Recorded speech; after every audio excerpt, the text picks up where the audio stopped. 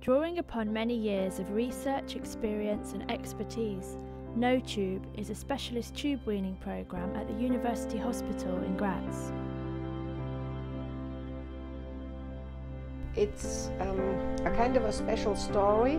Small children, which you would call medically fragile children, who have very, very severe medical conditions, either genetic or acquired, since birth, most of them, who survive all these procedures by being able to be fed by a tube.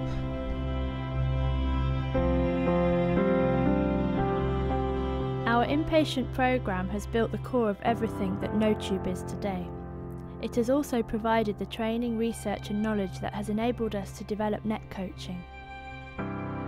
With a 96% success rate on our net coaching programme, we have worked with families all around the world. Our dedicated team, led by Margaret Dunitz and her husband Ronnie Scheer, will support and guide you through the weaning process using web-based communications.